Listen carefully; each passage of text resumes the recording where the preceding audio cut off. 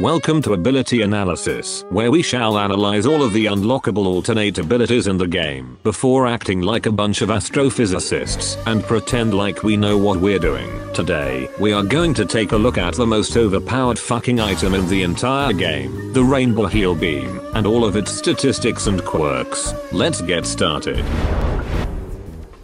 The Rainbow Heal Beam is the alternate ability to the standard Heal Beam, and can be obtained through opening sticker packs. The ability functions exactly the same in attaching a beam towards your allies and healing them at 10 health per second, with a lock-on range of 7 meters and a maximum range of 12. However, what makes this Rainbow Healing Beam totally unique, as implied by the name, is that it heals through the power of rainbows and allows you to fulfill your role with pride and feel a lot more accomplishment than a shitty normal beam. I mean seriously, who actually runs the normal heal beam and thinks that it's better because it clearly fucking isn't. It also has this totally unique attribute of being able to spam heal by holding down the interact button and then spamming the heal ability button you can heal people at a fast as fuck rate. This is absolutely something only the rainbow heal beam can do. So when you can, always make sure to maximize that heal rate and your teammates will love you forever. Not even the purple heal beam that the undead cracking sniffing scientists have can compare to this blossoming heap of sunshine with how absolutely fucking powerful it is. Much like the normal heal beam,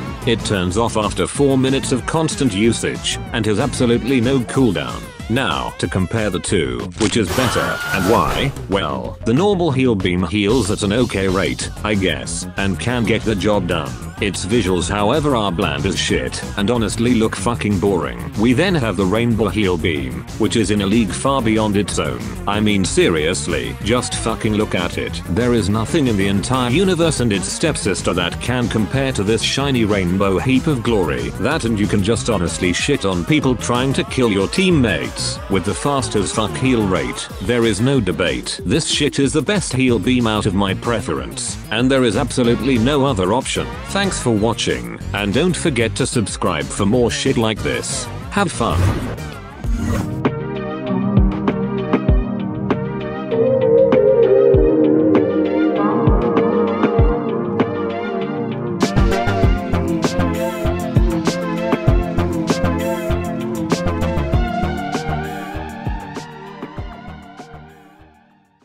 The fact I had to sacrifice four perfume shrooms for an April Fool's joke, Jesus fucking Christ.